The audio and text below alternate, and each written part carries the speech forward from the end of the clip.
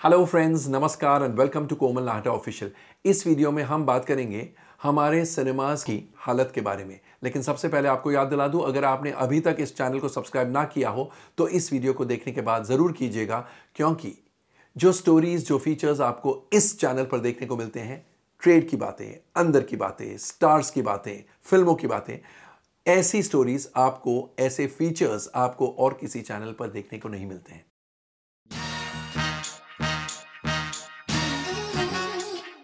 दोस्तों, याद है 19 सितंबर को, यानी दो महीने पहले, हमने एक वीडियो बनाया था, जहाँ हमने ये कहा था कि आगे चल के हो सकता है अर्ली नेक्स्ट ईयर सिनेमाज को वापस बंद करने की नौबत आ जाएगी। और हमने ये बेस किया था on what is happening in America America में बड़ी बड़ी मल्टीप्लेक्स चेन्स को वापस शटडाउन करना पड़ा है उनके सिनेमाज को, क्योंकि फ़िल्मों की release is all in a quandary किसी को नहीं पता कौन सी फ़िल्म कब आएगी। बड़े बड़े स्टूडियोज ने अपनी फ़िल्मों की रिलीज़ डेट अनाउंस करके वापस उन्हें पोस्टपोन कर दिया।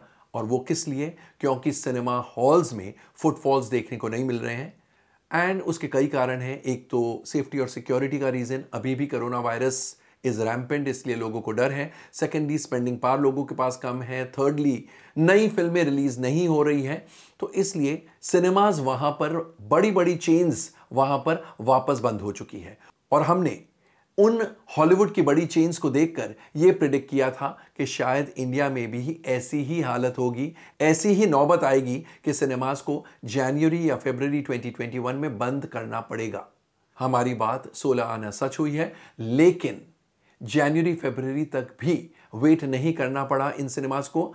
कैन यू बिलीव अक्टूबर 15 या 4-5 नवंबर को खुलने के बाद ऑलरेडी कई सिनेमास बंद हो चुके हैं या बंद होने की तैयारी में हैं। ऑफकोर्स टेम्प्रेरी क्लोजर की बात हो रही है, लेकिन हमने जो प्रिडिक्ट किया था कि जनवरी फेबर नेक्स्ट ईयर को होगा, वो अभी ही होने लगा है, इसी साल में होने लगा है। और इसके कई कारण हैं। और सबसे बड़ा कारण है कि नई फ़िल्में रिलीज़ नहीं हो रही है। एक बात सिनेमास को अच्छी तरह समझ में आ गई होगी। इनफैक्ट उनको तो पता ही था, लेकिन दे वो होपिंग अगेंस्ट होप और वो बात यह है कि पुरानी फ़िल्मों को देखने के लिए कोई भी इस सिचुएशन में पेंडेमिक के सिचुएशन में कोई भी बाहर नहीं निकलने वाला है, सिनेमा घर तक नहीं आने वाला है। वैसे भी रिपीट रन फ़िल्मों का बिज़नेस इतना कमज़ोर था कि ना के बराबर था। नॉर्मल टाइम्स में जब पुरानी फ़िल्मों को देखने के लिए पब्लिक सिनेमाघर तक नहीं आती है तो ऐसे सिचुएशन में जहाँ पर हेल्थ का खतरा है सेफ्टी एंड सिक्योरिटी की बातें हैं, आप खुद अंदाज़ा लगा लीजिए कि क्यों पब्लिक पुरानी फ़िल्मों को देखने के लिए सिनेमाघर तक पहुंचेगी। और इसलिए बहुत ज़रूरी था कि नई फ़िल्में रिलीज़ हो, लेकिन नई फ़िल्मों के रिलीज़ के प्लान्स कुछ नहीं पता, क्योंकि फुटफॉल्स देखने को नहीं मिल रहे, और इस वजह से अलग अलग सर्किट्स में अलग अलग स्टेट्स में सिनेमाज कुछ 10-15 दिन चले, कुछ एक महीना चले, कुछ 8-10 दिन चले, लेकिन बहुत से सिनेमाज ने यह तय कर लिया है कि अब हम वापस शट डाउन करेंगे, कुछ ने तो शट डाउन कर लिया है एंड तभी खोलेंगे जब वी आर अश्योर्ड के लोग सिनेमाघर में बड़ी तादाद में आएँगे and we are assured that फ़िल्में नई फ़िल्में रिलीज़ होगी। नई फ़िल्मों के बिना लोग नहीं आने वाले हैं और इसलिए हमें चालू रखने में और ज़्यादा दिक्कत होगी। अब दिक्कत क्या हो रही है, आप पूछेंगे। अगर सिनेमाज बंद होते हैं तो केवल फिक्स कॉस्ट फिक्स कॉस्ट बहुत बड़ी बात है, लेकिन केवल फिक्स कॉस्ट इनकर किया जाता है। लेकिन जब सिनेमाज खुल जाते हैं फिक्स कॉस्ट के साथ वेरिएबल कॉस्ट भी इनकर होते हैं और अगर नई फ़िल्में नहीं आती हैं और इस वजह से पब्लिक नहीं आती है, उन पुरानी फ़िल्मों को चलाकर उतना भी पैसा बॉक्स ऑफ़िस पर इकट्ठा नहीं होता है जितना कि वेरिएबल कॉस्ट को कवर कर सके। यानी, बंद रखने से अगर एक्स अमाउंट का लॉस इनकर हो रहा है सिनेमा वालों को, चालू करके रीओपन करने के बाद एक्स प्लस का लॉस हो रहा है, ना कि एक्स का। और इसलिए सिनेमा वालों को समझ में आ गई है बात कि बंद रखने में ही ज़्यादा समझदारी है। अब कुछ लोग ये कहेंगे इस बात को सुनकर कि फिर सिनेमा वालों को अकल नहीं थी, उन्होंने सिनेमास खोले ही क्यों?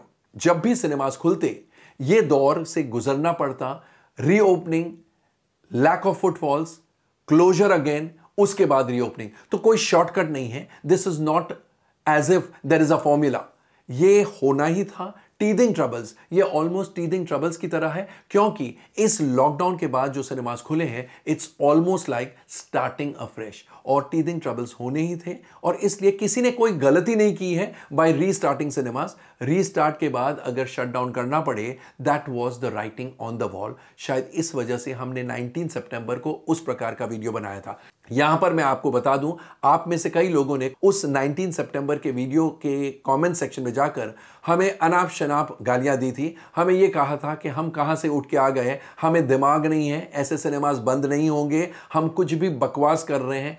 अब जो सच्चाई सामने आ गई है सिनेमाज बंद हो रहे हैं तो आप खुद अंदाज़ा लगा लीजिए कि उस समय 19 सितंबर को बकवास कौन कर रहा था। हम या वो कमेंट्स लिखने वाले। एक्चुअली हमारे इस वीडियो पर रिलाई करने की ज़रूरत नहीं है। आपके इर्द गिर्द अगर आप आँखें खोल के देखें तो आप खुद समझ जाएँगे कि कई सिनेमाज आपकी लोकेलिटी में या आपके एरिया में खुल के बंद होने की ताक में हैं या बंद हो चुके हैं। दोस्तों, आपको हमारा ये वीडियो जहाँ पर हमने सिनेमाज की हालत इंडिया के सिनेमाज की हालत क्या है, उसके बारे में बातें की, उसके बारे में आपको जानकारी दी। कैसा लगा कमेंट सेक्शन में जाकर अपने कमेंट ज़रूर पोस्ट कीजिएगा। एंड जैसा मैं हमेशा इन दिनों कहता हूँ stay safe stay relevant and of course stay tune